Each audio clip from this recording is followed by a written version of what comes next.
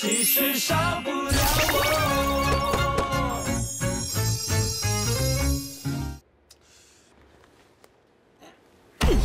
喂，你干嘛？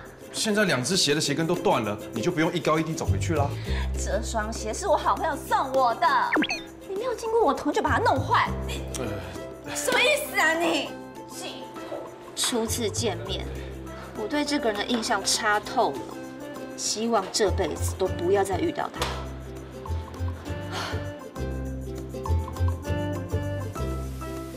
为了筹备情人节活动，我几乎每天工作超过十二个小时，就怕哪个环节没盯好，出了错。请问是酒送到了吗？什么？怎么会这样？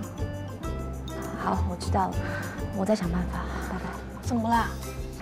我选的那批酒报关出了问题，被扣在海关了。啊？那怎么办呢？啊！我想到了，前天有一个酒商把这支酒送过来，说希望你可以再给他一次机会。再给他一次机会。嗯。这支酒还不错哎。嗯。那酒商有留联络资料吗？在这里。吴子翰。我当时不过想碰碰运气，没想到居然真的有足够的红酒可以供应，而且还答应当天会送来。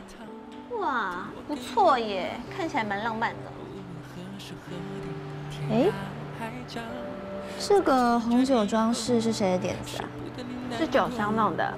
他说如果这个装饰 OK 的话，他可以马上赶工把所有的酒都完成。经理，酒商来了。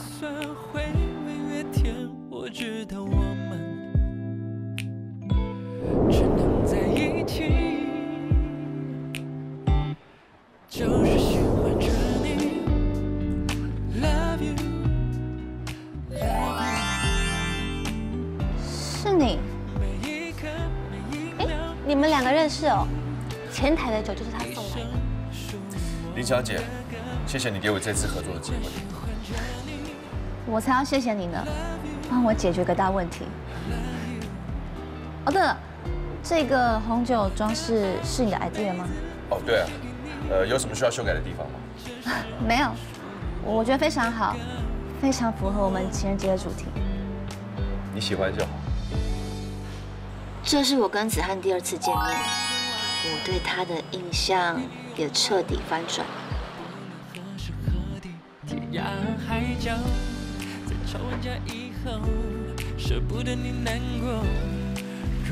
林小姐，忙完了吗？忙完啦，情人节活动终于圆满结束，可以轻松一下了。你怎么会在这里啊？我在等你啊！这个给你。这是什么？对不起啊，上次把你的鞋弄坏了，所以我特地去买了一双新的给你。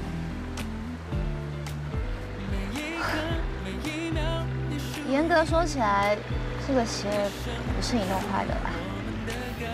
我知道啊，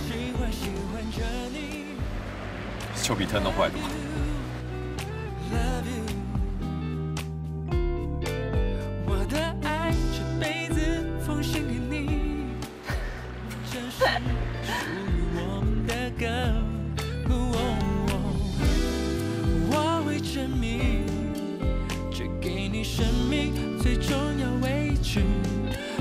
吧？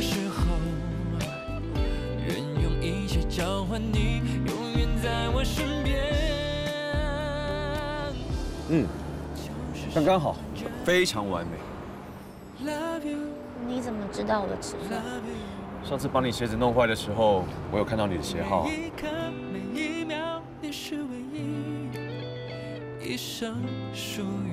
我觉得这双鞋就像童话故事里面那双玻璃鞋一样，而我就是那位王子，一直在苦苦寻找一个能让我心动又让我着迷的公主。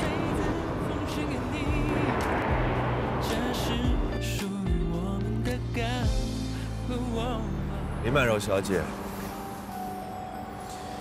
你愿意做我的仙杜瑞拉吗？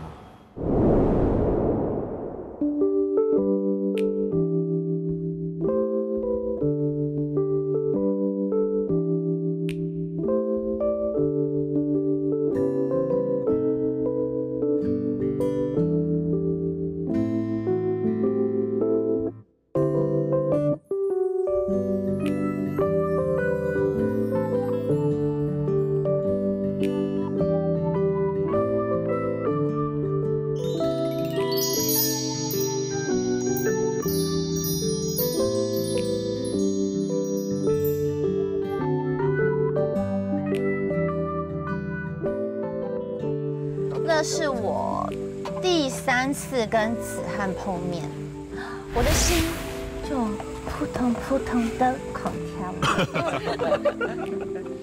太浪漫了吧！朱比，二哥是我师傅哦，你要我的浪漫吗？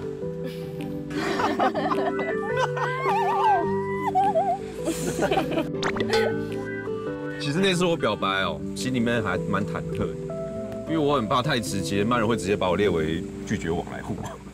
我就是喜欢直接的人，就是你的直接。姐，一双高跟鞋跟一个老掉牙的童话故事就可以骗到你，你也太好骗了吧！其实呢，之前有很多条件比子涵更好的人追求我，可是我都没有 feel。心动了就是心动了，感觉是骗不了的。姐姐问你们，如果你们遇到了一个人，他完全不符合你的择偶条件，可是你却想要义无反顾地跟他在一起，请问这是什么？是爱情。That's right。为了能跟喜欢的人多相处一分钟，你不怕回家会被爸妈念一个小时？只要能跟喜欢的人在一起，不管去哪里都可以，就算天天吃卤味摊，也会觉得很幸福。总而言之呢，我觉得跟你在一起，我很放松，可以完全的做自己，不需要做出任何的改变。这就是我选择吴子翰的原因，懂了吗？老婆，我感受也是跟你一样，认识你是我这辈子最幸运的事。哎呀，二嫂，嗯，你跟他说那么多也没用啊，他就只知道种咖啡演浪漫细胞演，八成没谈过恋爱吧？就算有，以他这臭脾气，也一定会被男友揍。不要乱讲话。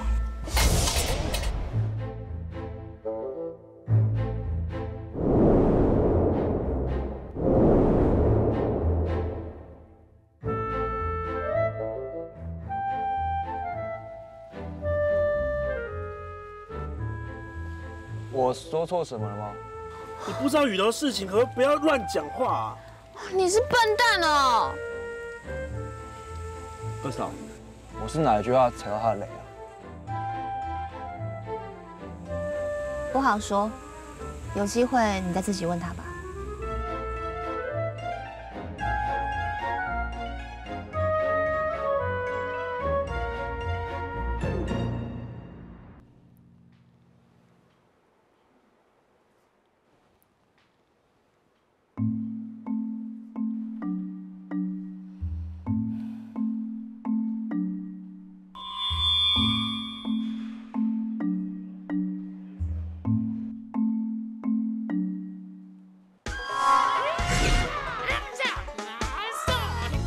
林富康，你竟然背着我做出这种事！